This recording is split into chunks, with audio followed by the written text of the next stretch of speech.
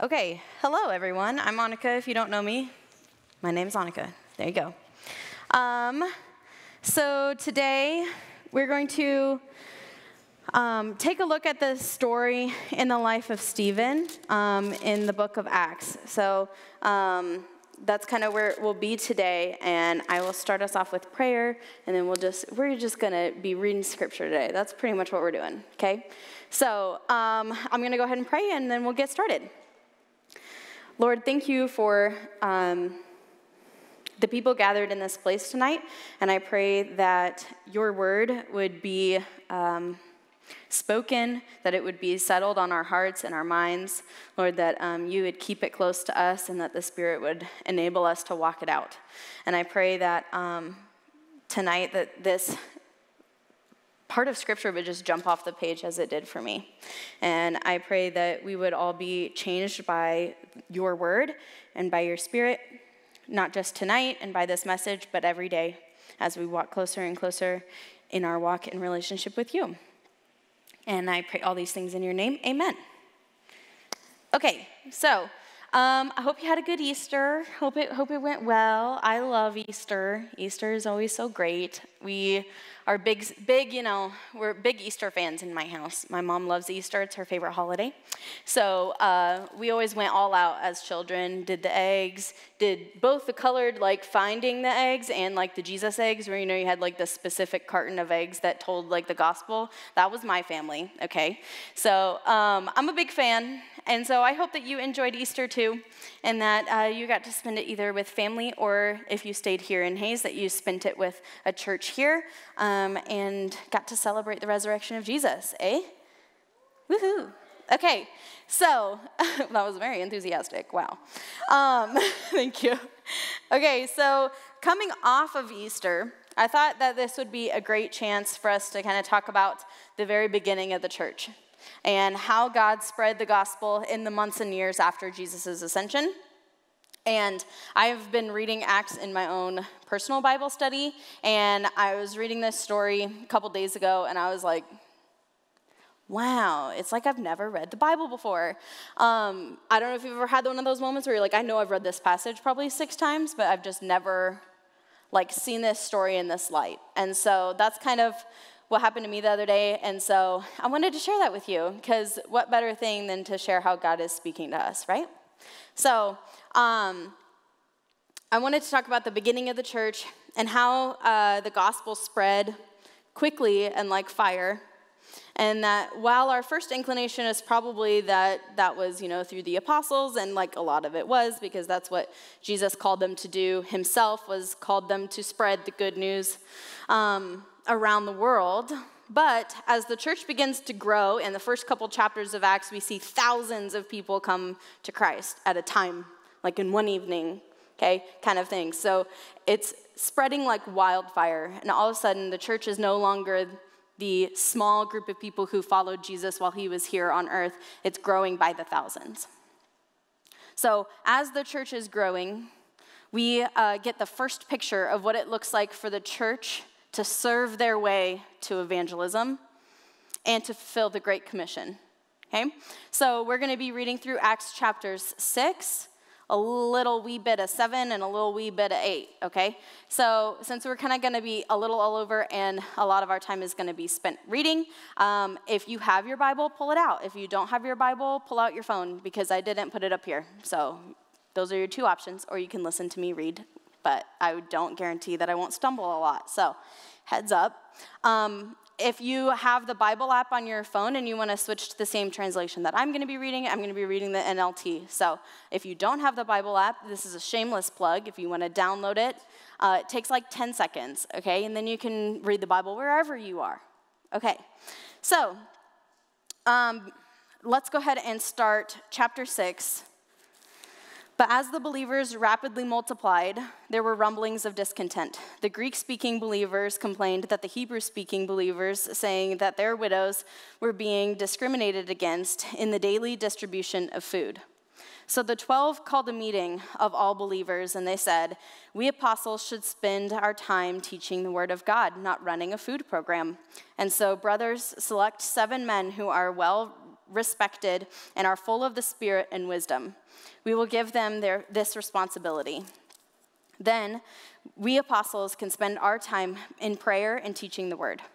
Everyone liked this idea, and they chose the following Stephen, a man full of faith and of the Holy Spirit, Philip, I'm going to butcher all of these names, so I'm just warning you right now.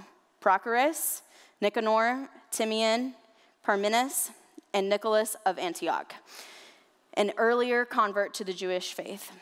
These seven were presented to the apostles who prayed for them as they, and they laid their hands on them. So God's message continued to spread. The number of believers greatly increased in Jerusalem, and many of the Jewish priests were converted too. Stephen, a man full of God's grace and power, performed amazing miracles and signs among the people. But one day, some men from the synagogue of freed slaves, or freedmen, which might be in your translation, as it was called, started a debate him, with him. They were Jews from Cyrene, Alexandria, and Cilicia, in the province of Asia. None of them could stand against the wisdom and the spirit in which Stephen spoke. So they, pers- so they persuaded some men to lie about Stephen, saying, We heard him blaspheme Moses and even God. This roused the people, the elders, and the teachers of religious law. So they arrested Stephen and brought him before the high council. The lying witnesses said, This man is always speaking against the holy temple and against the law of Moses. We have heard him say this this Jesus of Nazareth will destroy the temple and change the customs Moses handed down to us. At this point, everyone in the high council stared at Stephen because his face became as bright as an angel's. Then the high priest asked Stephen, Are these accusations true? This was Stephen's reply. So I'm not going to read all of chapter 7. Okay, we're going to jump because Stephen gives a sermon here, all covering the rich and compelling story of the Old Testament leading to now, where they were in the very beginning of our New Testament, seeing that Christ has resurrected. Okay, so he takes the um, Jewish leaders through the Old Testament, talks about the prophets, and he talks about um, how the Jewish leaders have now killed the Messiah. And he states over and over again how the Jews have turned away from God and rejected those that he sent to them, and eventually the case for those accusing them now rejecting the Messiah himself. So we're going to jump forward to chapter 7, verse 54. The Jewish leaders were infuriated by Stephen's accusation, and they took their, shook their fists at him in rage. But Stephen, full of the Holy Spirit, gazed steadily into heaven and saw the glory of God and he saw Jesus standing at the place of honor at God's right hand. And he told them, Look, I see the heavens opened and the Son of Man standing at the place of honor at God's right hand. So they put their hands over their ears and began shouting. They rushed at him and they dragged him out of the city and began to stone him. His accusers took off their coats and laid them at the feet of a young man named Saul. As they stoned him, Stephen prayed, Lord Jesus, receive my spirit. And he fell to his knees, shouting, Lord, don't charge them with this sin and with that, he died. Saul was one of the witnesses, and he agreed completely with the killing of Stephen. A great wave of persecution began that day, sweeping over the church in Jerusalem, and all believers except the apostles were scattered through the region of Judea and Samaria. Some devout men came and buried Stephen with great mourning. But Saul was going everywhere to destroy the church. He went from house to house, dragging both men and women to throw them into prison. But the believers who were scattered preached the good news about Jesus wherever they went. That's where we're going to stop. So, that's the story of Stephen, pretty much beginning to end, okay? So, Stephen's ministry was very short.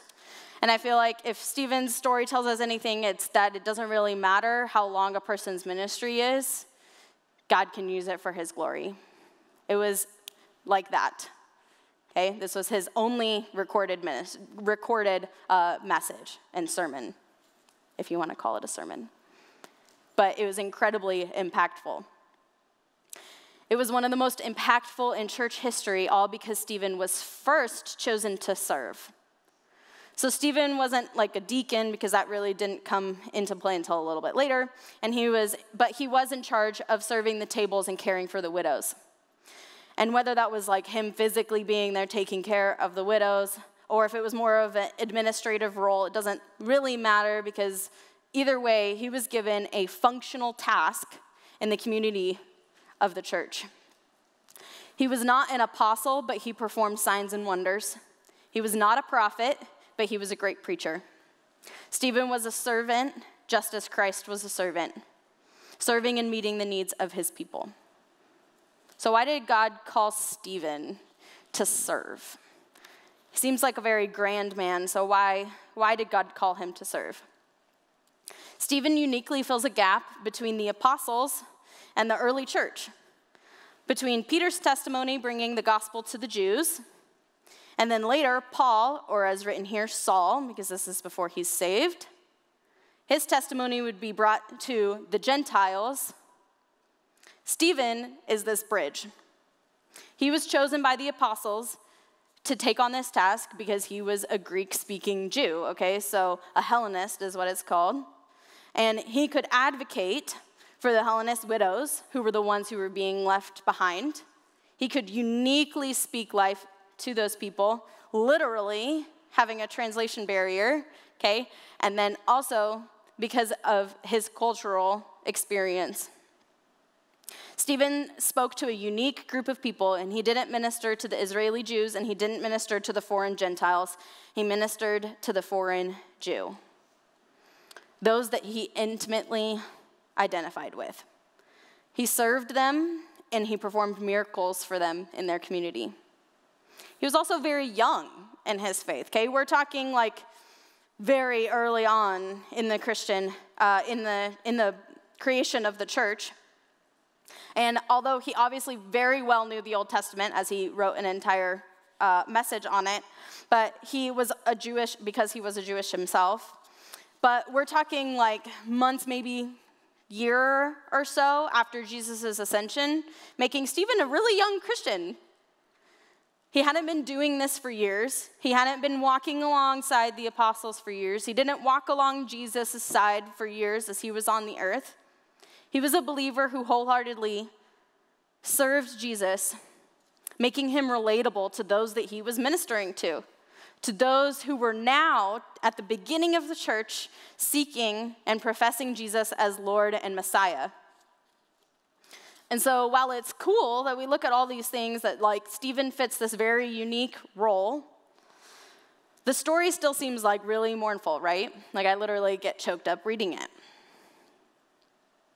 And as we read, there's really no indication that anyone was saved by this event.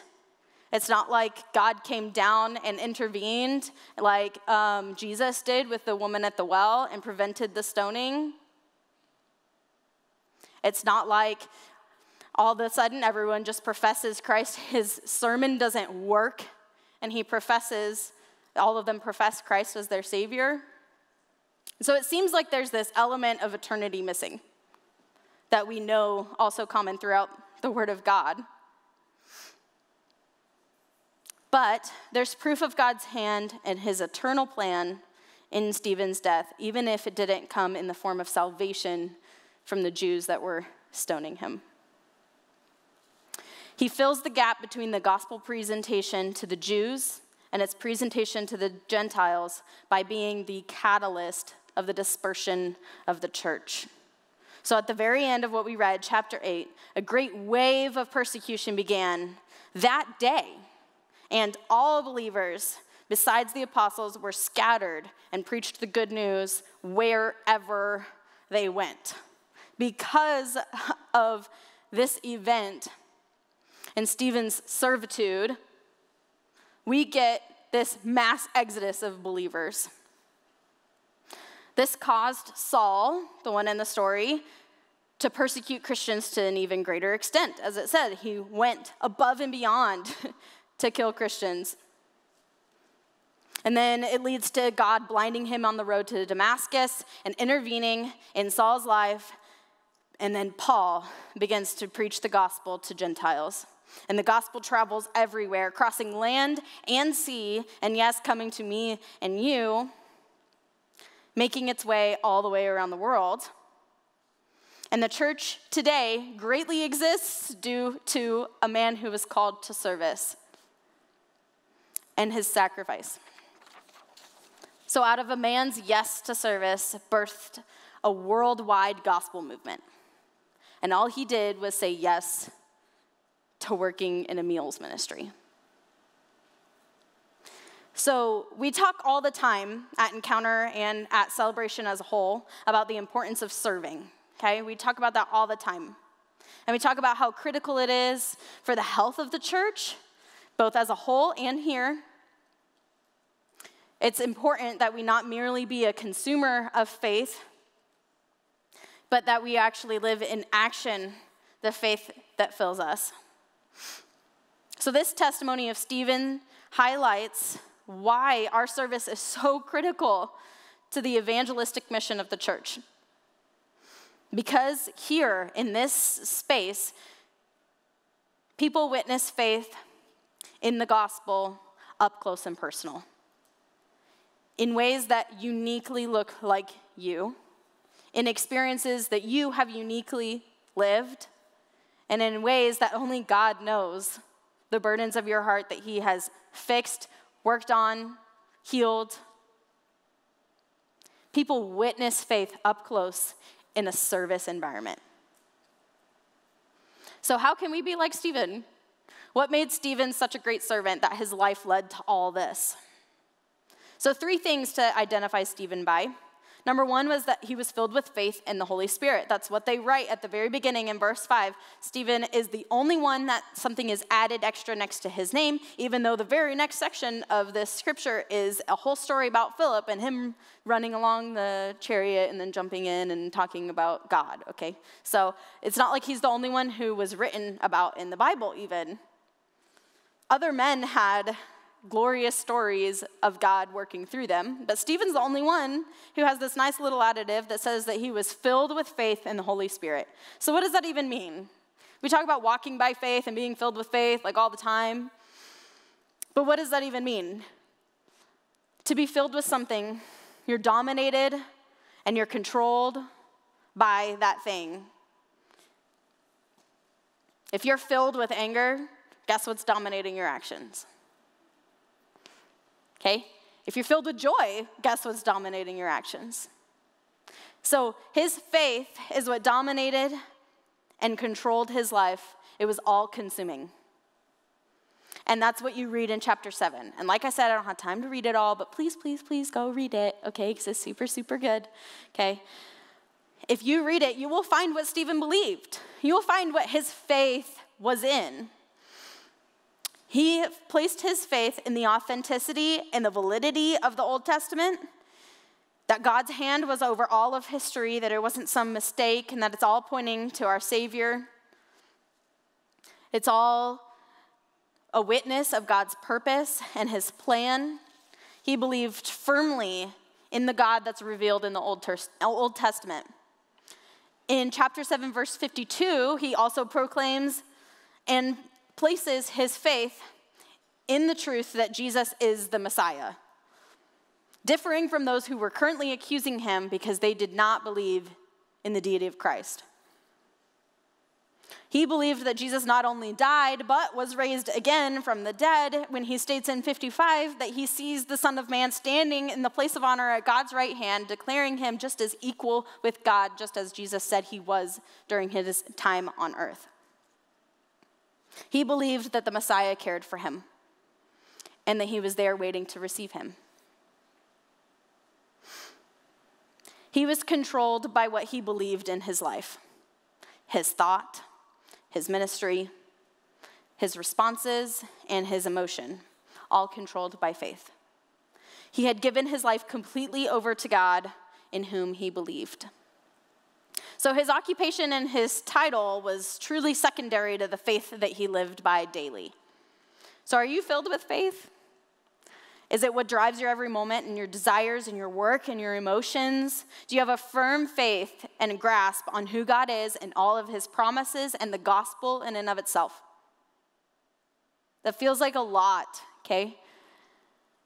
But as believers, it's important that we know what we believe and that we're confident that God really is who he says he is and that he will provide and fulfill his promises. So, number two is that he was willing. Verse 8, Stephen was, uh, chapter 6, verse 8, I should say. Stephen performed amazing miracles and signs among the people. He was willing to do anything. We see all these miraculous signs that Stephen did, and we're like, hmm, this was a great man. And yet, all that he was asked to do was to serve.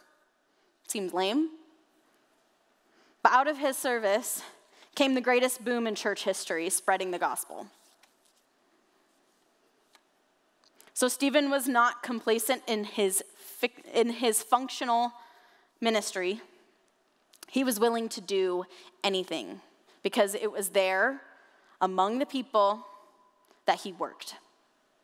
He seized opportunities and allowed God to work through him, meeting people right where they were, performing signs and miracles to all the people around him for the glory of God. So, where are you? What's your sphere? What's your influence? If you're in serve team, you're really annoyed with me right now because that's all we talk about. How can you impact those around you, even if it's in your job or your role that seems too functional to be able to possibly have an, an impact for Christ? God is just as powerful in a functional environment as he is in a spiritual one. Number three is that he was filled with grace. Chapter 7, verse 59, Stephen's, Stephen mirrors Jesus' final moments on the cross that we just talked about last weekend and asks God to forgive those who persecute him. In our service to one another, we need grace. In our evangelism and our testimony, we need grace. For those that are blind to God's redeeming love, because we too were once running from God's provision. And then another moment of, God, of God's grace through Stephen is verse 15 in chapter 6. Stephen stood in front of his accusers and those lying about him and his character, and he reflected the glory of God back unto them. Do we do the same? Even in the small things, I fail to be gracious. And I pray that we would all grow in our desire to be gracious. I don't always believe that we want to be. And that we would seek opportunities to be gracious with others. So, last couple thoughts. I challenge you with this God's still looking. He's still looking for people who resemble Stephen's character, who are full of faith and willingness and grace and who are willing to serve his church and represent him in the world. This is what we do. This is church. The church has an evangelistic mission, and it is placed here so that believers can gather and be equipped and be energized and be empowered, and then they can be sent out to go and proclaim the gospel to all who will listen, no matter where they are, no matter where they find themselves on a, on a Monday at noon God's right there, willing and ready. So, where are you called to serve? Is it here? Is it in a kids' ministry? Is it on campus? Is it in the dorms? Is it on your team? Is it right here at Encounter with Serve Team? Where's God asking you to be willing to be filled and controlled by faith? Are we willing to sacrifice our time? in order to serve so that someone might be saved.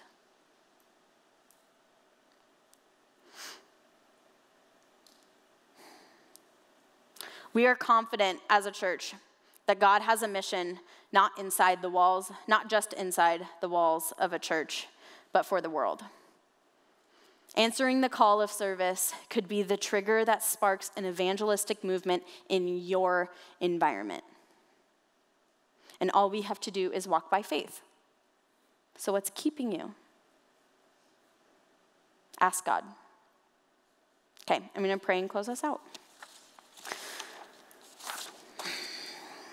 Lord, thank you for this evening and just a moment to witness and to read and to share in the life of Stephen. And I pray that all of us would be able to see you in new light in our lives. willing and ready to walk with us wherever we are, to share the gospel wherever we are, to serve and be up close and intimate and personal, to be the hands and feet of you to those around us, all just for the chance that people might get a glimpse of you and your glory. And I pray that um, this would not just be something we hear, Lord, but it would be something that you keep placed on our hearts and that you would bring it up, bring it up to us in moments throughout our days where we say, This is a moment where I can serve. This is an area that I can serve. This is what I have been uniquely equipped to do. I pray that you would empower us, and Lord, that you would cast out any doubt and fear that that is not true. Lord, thank you for those gathered today, and I pray um, that we would be loving to one another in the way that you are to us. In your name I pray. Amen.